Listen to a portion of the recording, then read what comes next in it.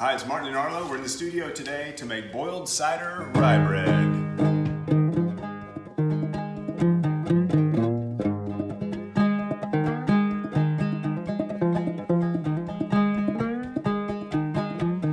Okay, so boiled cider rye bread.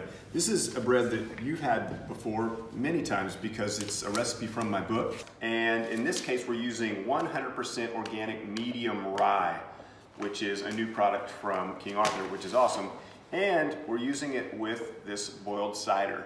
This is from Woods Boiled Cider, and it's a cider house that also does has a syrup operation, so they make a lot of maple syrup. And then when their syrup operation isn't in use, during the fall, they make boiled cider, which is an incredible thing to have around. I like it in vinaigrettes. I like it in sparkling water. You can baste a roasting chicken with it or vegetables. It's a super um, sort of flexible ingredient for you to have. You can also make it at home by reducing your own cider or cider that you purchase at the store. Uh, and there are instructions for that in the recipe. Okay, let's do the mix. So, boiled cider rye bread, um, medium rye flour. That's the only flour in this mix is the medium rye flour, right? Mm -hmm. This bread has a pre-ferment. I fed some of the medium rye flour with equal parts by weight flour and water, and then I added some sourdough culture into it, right? Yep. So you know, rye has different qualities than wheat. It's not as stretchy and like rubber band like, right? Yeah. So you can't knead it in the same way. You don't mix it in the same way. You don't shape it in the same way. It's much more like working with something like maybe Play-Doh or something that doesn't like stretch and bounce back. Mm -hmm. It mm-hmm. doesn't have elasticity. Mm. It smells good, right? Yeah. It has a, I mean, it's not like something that you're gonna make a candle scent out of, you know? Yeah, definitely not. But it smells malty and also like very grassy. Definitely. Anyway, lots of flavor. That's where the flavor is largely coming from in this bread. Mixing 100% breads is not unlike mixing a batter bread. There's no kneading per se. So I've got my rye sour in the bowl, right? And then I'm yep. gonna add my water. It's important, especially if you're working on a cool day like we have here today, it's important that you warm the water up. The water I'm using today is well over 100 degrees just to make sure that by the time I add in the flour, which is slightly cool, and the pre-ferment, which is slightly cool, uh, I want to make sure that everything is a good temperature for fermentation. 100% rye breads generally don't ferment as long as you might ferment a traditional sourdough loaf, you know? Mm-hmm. Like if I'm making sourdough bread, I may ferment it for a few hours. Yeah. This has only 60 minutes of bulk fermentation, six zero minutes. This is not a sourdough bread, but the pre-ferment is sourdough and yeah. the final flavor profile will be slightly acidic. It also has a little bit of yeast in it, so it's not in pure terms like a sourdough bread, right? Yeah. It's using a little bit of yeast just to encourage fermentation. I think of myself as a baker, not a sourdough baker or a yeast baker. I don't think in those buckets. I just think myself as someone who likes to bake, right? Yeah. So using a little bit of yeast, yeast in what could be a sourdough recipe um, feels fine and is okay. All right, so I've got my sourdough culture and the water. I can add my salt and it's a little bit of yeast. It's not a ton. And then boiled cider. Like I said, you can reduce your own cider to make this and it's, it's just like intense apple brightness and slight sweetness. It's gonna help the loaf to color and it will also add some flavor. So I've got those things in and then I just add the rye all at once. And like I said, rye breads, which are 100% rye flour, and I'm not talking about like a deli rye, which has a higher percentage of flour, like all purpose. Those breads you can knead and handle in a more, you know, tradition, in, in, in a fashion which you're maybe more used to. But this rye bread is gonna act more like batter bread. Yeah, you can definitely see right now that it's like, you're not gonna be able to knead that. Yeah, if you try and knead that, you're gonna have a tough time, right? And you'll see when we get to shaping how things are sort of different. Water is your best friend when you're working with these doughs like this, which are sticky. Um, if you have a little bit of water on your hand, like I'll go over to my water pitcher and I can clean off my spatula. See how if I had a wheat-based dough, it, it can hold together, right? But watch this, it just has nothing. But after it ferments for a little bit, it'll gain a little bit more cohesion. And so we're just gonna leave that alone covered for an hour and then we'll be back.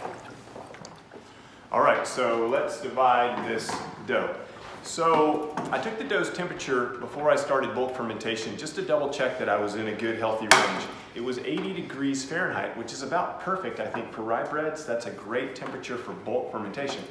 The thing is that, is that this room is chilly today. Anthem was just saying it's probably in the low mid 60s, somewhere in there.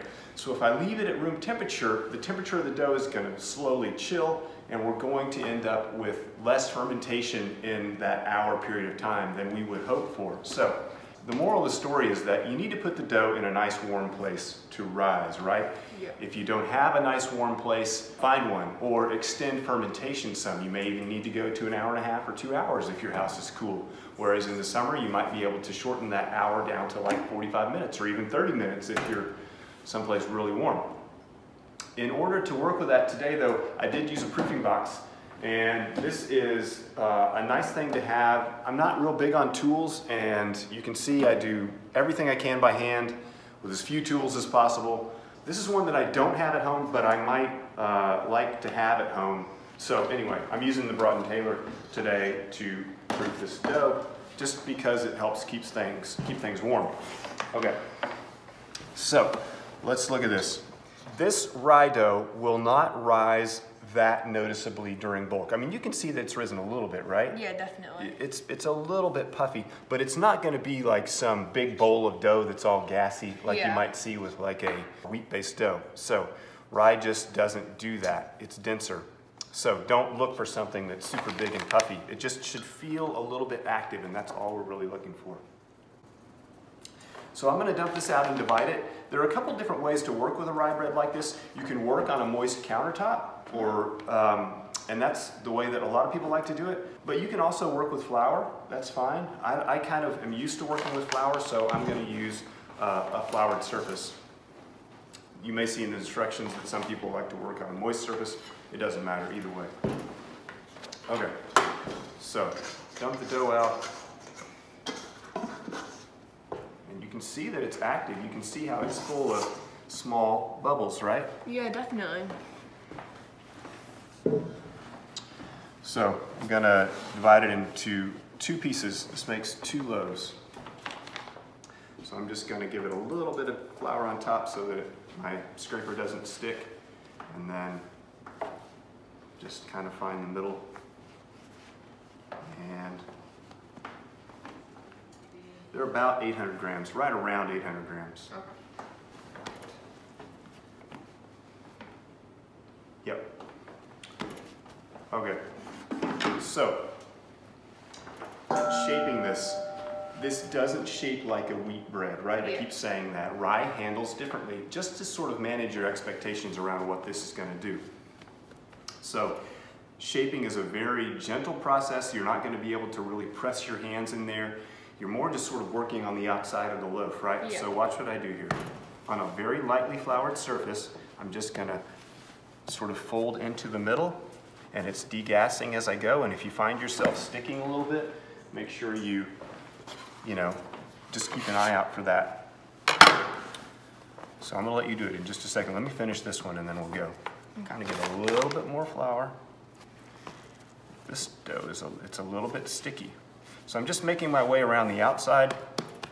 Once I have sort of my pieces folded together like that, all I'm gonna do is turn it over and just give it a little bit of rounding.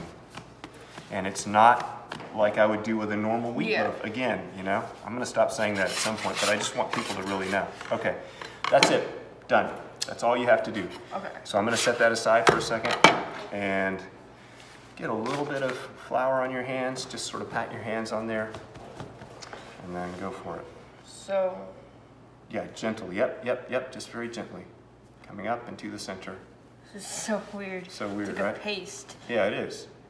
It's like trying to shape a quick bread a little bit. Yeah. But all that moisture, we need all that moisture. It's gonna help the loaf to keep active and it's also gonna expand some during baking. So grab that one piece there and then fold it in and then you're good to turn it over. Yep, that's good. Now turn it over. And then with the sides, yeah, like this. See how I'm doing there? Yep, yep. Stick it a little bit. If it's sticking a little bit, just, well, you're right to do that. So pick it up. Oh, you got a fair amount there. Here. That. And get it on a little bit of flour. And Yep. then you're just gonna go like that. That's good, you're done. So, then we're gonna put it into some Banneton. I have these Bannetons and I already dust them, dusted them with a little bit of uh, rye flour. You always want to dust with a flour that represents what's used in the loaf. So you don't necessarily want to use white flour on the Yeah. outside because it'll look weird in contrast to this interior color, which is which is rye, right? So, Yeah. so I always use. So if I'm going to dust a basket and I'm making a rye loaf, I always put rye on the for uh, dusting flour. So these baskets have already been dusted. I'm just adding a little bit more. But come here, Anthem, and look how. Can you see how this basket has pretty good coverage? You don't want it to be caked on there, but you want it to be covered well enough so that this won't stick. Okay. And then these go in seam side up, right? So that's the bottom of the loaf, and we put them, because when we load them, we're gonna turn them back out, and that's gonna be the top, right? Yeah. So this is the top of your loaf, right here. Now I'm gonna invert it into the basket, like that.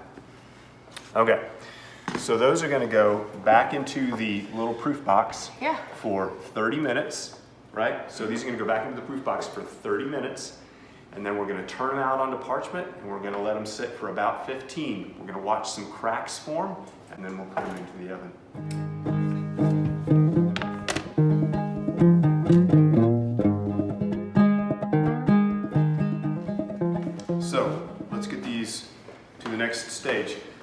Had their half an hour after shaping and I kept them in a warm place. In this case, I've got them in this proofing box, which is nice.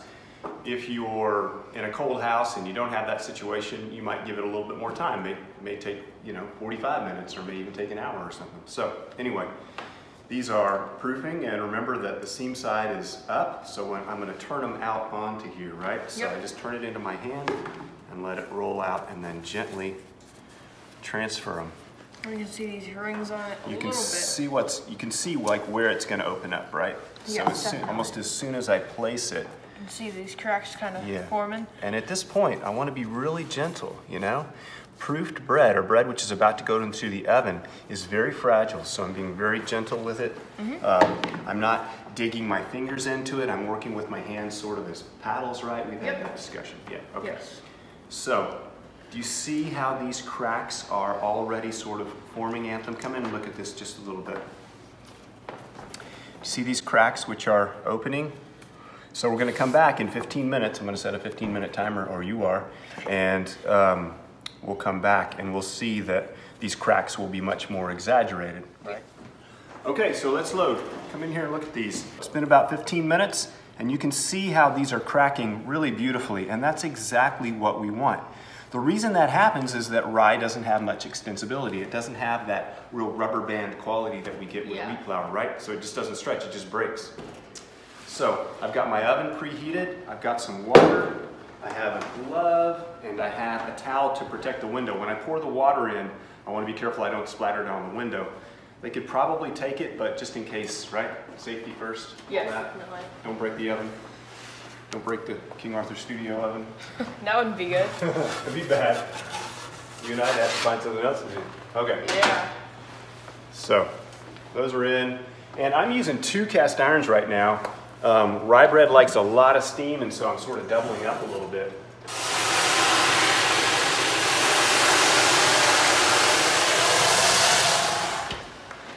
I have this oven set for 500 because I know that 500 will basically give me 450 and so it's baking at 450. I'm gonna keep an eye on it though and I might turn it down by say 20 degrees or so after about 20 minutes. So I might turn it down a little bit. I'm just keeping an eye on the oven. Your oven's different. Our oven at home is different. The oven across the street is different. Everybody's oven is different. That's where some of the skill and some of the experience comes in. Okay, so we'll come back in about 40, 45 minutes and we should have some bread.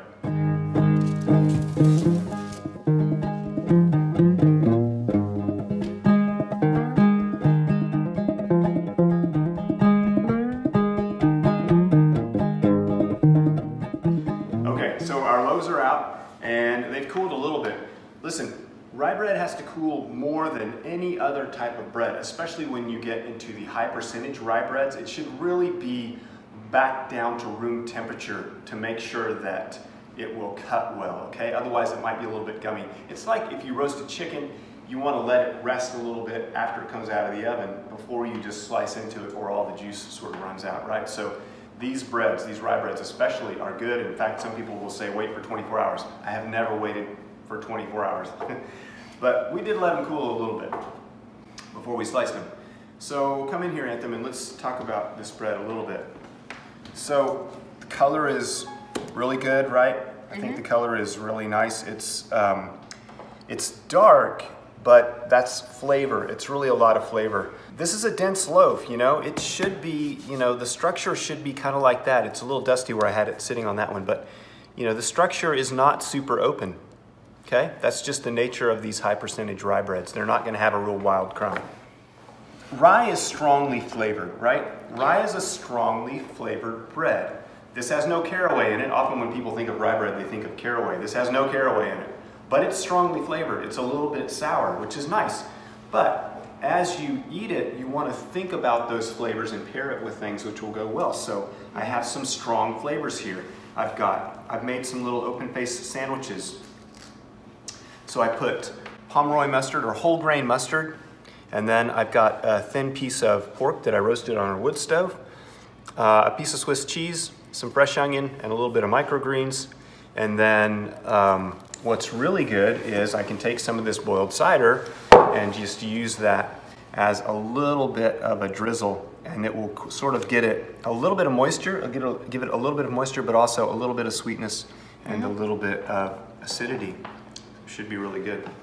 So try these rye breads. I think you're gonna enjoy them. Um, look for unique flavor combinations after you bake it and put it together. I hope that everyone out there as well. Thank you, Anthem, for helping us out today, and thanks, Arlo. It's good to yes, see you. Nice to have you in the studio. Cheers.